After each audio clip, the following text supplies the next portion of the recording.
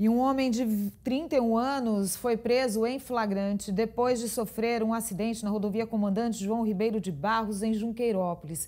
Segundo a polícia, ele teria perdido o controle do veículo, batido em uma árvore e caído num barranco. Quando os policiais chegaram, ele estava dentro do carro e foi socorrido com ferimentos leves. Ao passar pelo teste do bafômetro, foi constatado que o motorista, que estava sozinho, havia consumido bebida alcoólica. Ele foi encaminhado para a delegacia, pagou fiança de R$ 1.100, foi ouvido e liberado.